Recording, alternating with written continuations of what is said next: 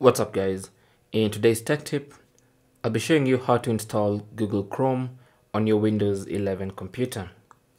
The first thing you need to do is open a browser and you can use the default Microsoft browser that comes with Windows 11. That is Microsoft Edge. It's usually pinned on the taskbar, but if for some reason it's not there, simply click on the start button and then type Microsoft Edge and it should appear in the search results. Either way, click on that Microsoft Edge and it's gonna open the Edge browser.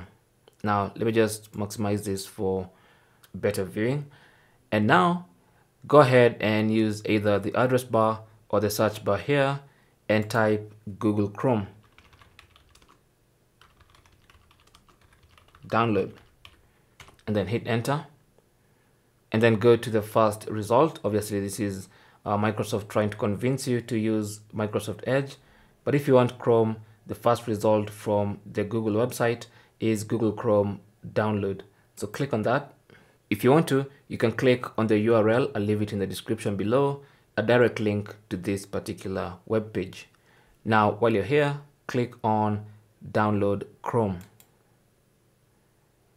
And in a few moments, your download should start automatically.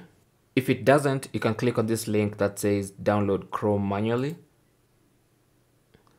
And Chrome should be downloaded as you can see. Now, what you want to do is click on this little uh, folder icon and that should take you to the folder in which the Chrome setup has been downloaded.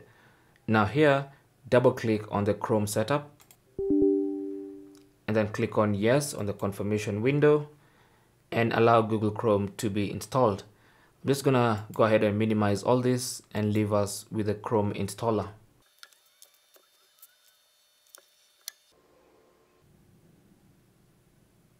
Once it's done, it's gonna launch Chrome and now you have Google Chrome on your Windows 11 computer.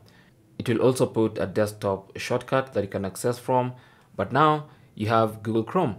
If you normally sign in to your Chrome browser using a Google account, then you can go ahead and do that and all your bookmarks, all your browsing history, everything you've saved in your Chrome browser will now come back to this one on Windows 11. Thanks for watching. Leave your comments and questions down below and good luck.